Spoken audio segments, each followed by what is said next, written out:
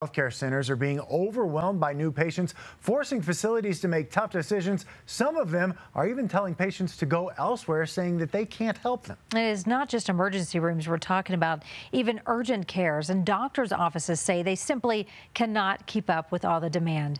Jasmine Arenas is your reporter in Denver and digs into what's behind this worrying trend.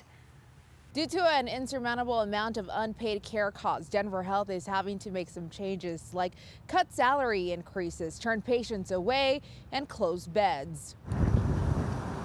With Arctic winds bringing in sub-zero temps through the weekend, the emergency care unit at Denver Health expects to be busier than ever. We're definitely feeling the strain uh, with uh, all of the uncompensated care we've always provided and this influx of newcomers um, who have a lot of unmet medical needs. Though Denver Health serves as a safety net hospital for thousands, right now they've hit a breaking point, especially in their emergency care unit, serving thousands of undocumented patients. There's only so much that a hospital like Denver Health can handle.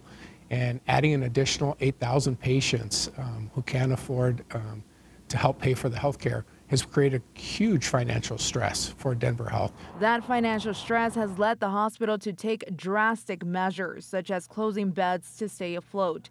According to CEO of Denver Health, Dr. Donna Lynne. We have at Denver Health uh, 78 inpatient beds that we devote to all, all substance use disorders as well as mental health.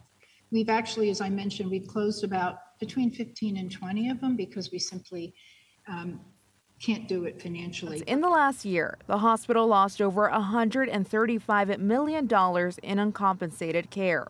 A quarter of that cost coming from non Denver residents. While I have tremendous compassion for what's going on, it's heartbreaking. It's going to break Denver Health in a way that we didn't even anticipate. Well, we, we, need, we need financial support to provide the needed care for this population. The hope is they'll receive funding to cover the funding gap. But as of now, that doesn't seem likely. In Denver, Jasmine Arenas covering Colorado First. And Jasmine is your reporter for all things happening in Denver. When you have a story idea, we hope you'll send it her way through CBSColorado.com, and you can always call our tip line. This just in, we're now learning just how much